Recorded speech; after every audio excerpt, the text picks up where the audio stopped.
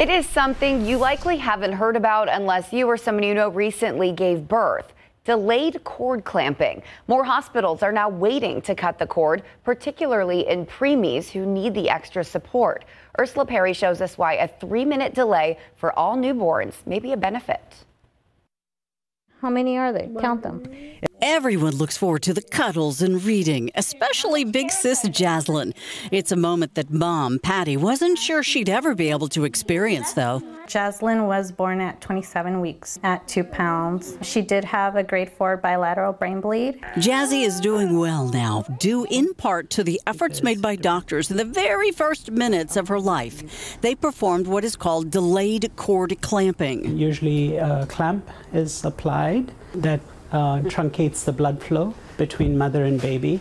And delayed cord clamping just implies that we wait a little. It has a lot of benefit for the baby. They had told us that, you know, with the delayed cord clamping, she would be she would receive that extra oxygen in her blood to help with her brain. The extra time allowed Jaslyn's blood pressure to stabilize, as well as increase levels of iron and brain myelin. Uh, we believe that some of the benefits of her brain be, being able to recover were probably helped by waiting that minute. You really don't think about all this stuff until you're actually given the situation. Fortunately, the doctor was prepared for the situation. He's one of the leading advocates of delayed cord clamping in the country. I would say that we're the first um, hospital that has embraced this as standard of care and taken it to the next level. We'd like to wait for two to three minutes for all babies if possible.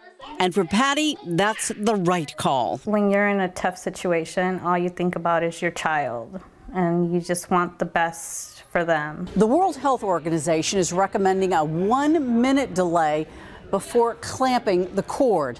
And parents, you would have to be your own advocate in this case. Expectant parents are being asked to tell the doctor what it is you expect. Research shows, though, if this becomes the norm, 100,000 premature babies could be saved next year. Ursula Pari, KSAT 12 News.